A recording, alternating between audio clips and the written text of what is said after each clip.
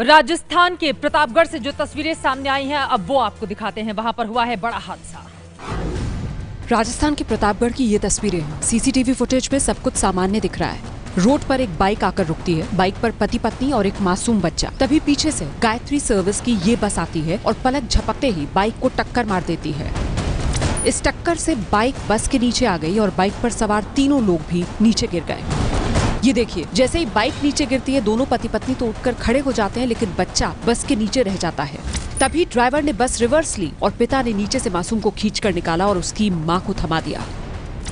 मौके पर मौजूद पुलिसकर्मी बस की ओर दौड़े और ड्राइवर को हिरासत में लेकर बस को जब्त कर लिया। हादसे में घायल बच्चे का इलाज जिला अस्पताल में चल रहा है। ये है एबीपी न्यूज़ आपको रखे आगे।